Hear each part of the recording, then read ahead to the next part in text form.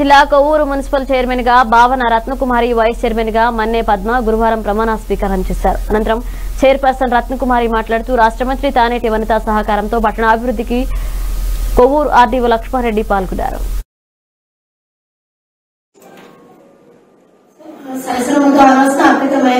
భారత యథార్థమైన శ్రద్ధనిష్టలను కలిగి భారతదేశం యొక్క సార్వభౌమతను మరియు అఖండతను నిర్వహించలేను నేను చేపట్టగల కర్తవ్యము శ్రద్ధపూర్వకంగా నిర్వహించలేను దైవ సాక్షిగా ప్రమాణం చేస్తున్నాను సత్యనిష్టతో ప్రతిజ్ఞ చేస్తున్నాను